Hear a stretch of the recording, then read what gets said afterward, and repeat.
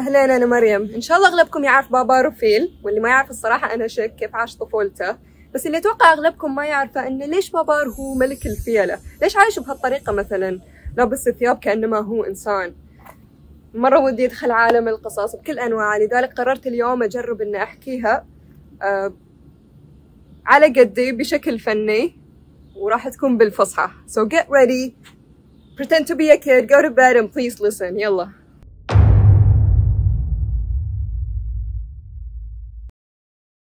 بابار فيل صغير يجاور أمه طيلة الوقت يحيط بها ويلعب مع الفيلة الأخرى الصغار.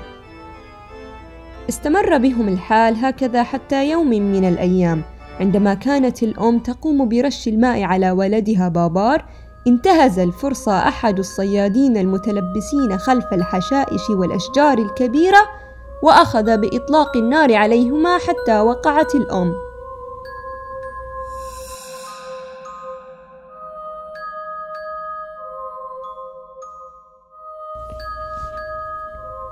انفضت كل المخلوقات الطيور القردة وباقي الحيوانات.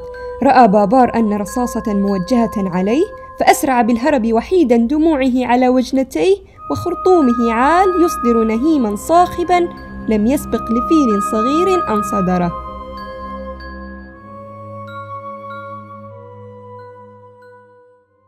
بابار وجد نفسه في مكان غريب حيث أناس لا فيلة تتمشى على حافة الطريق. يرتدون ملابس عجيبة ومتألقة وينامون في أماكن مغلقة. من حسن حظ بابار وجدته سيدة بالغة في اللطف والعطف عندما كان يعبر الطرق والسيارات منزعجة منه وعندما كان يأكل من الحشائش المعروضة في أواني زاهية. تقدمت السيدة العجوز لمد يد العون أهدته حقيبتها وأشارت على محل الستر الأنيقة على زاوية الشارع المقابل. يخرج بابار بطلة بهية وتستقبله العجوز في بيتها ليتناول أفخر الأطباق وينعم بسرير لين وسيارة حمراء تدعى بالمرسيدس. رغم سعادته بابار يرى نفسه يبكي دوما على أيامه الخالية وأمه الراحلة. في اليوم التالي لم يصدق بابار ما حصل فقد وجد أولاد عمه سيليست وآرثر. قاموا بتهليلات الفيلة.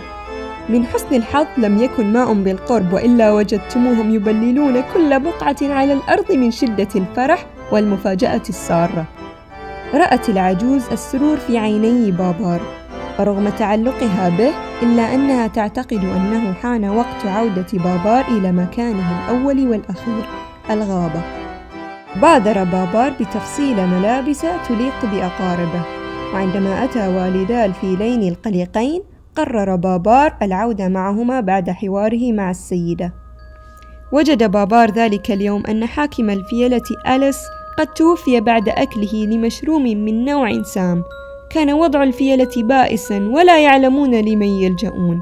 الحرب آتية وهم في خطر الآن.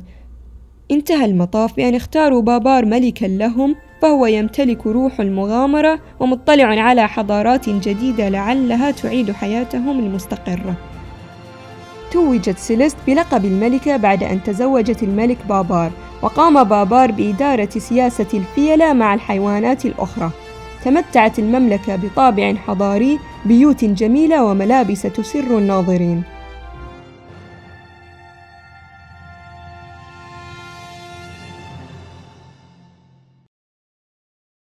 هذه أنا وأنا أحوس جبت كل طاولاتي عشان أحط الإضاءة والستاند بدون ما يشتتوني عن المكتب. بعدين عجبني الشكل. It's an art piece right؟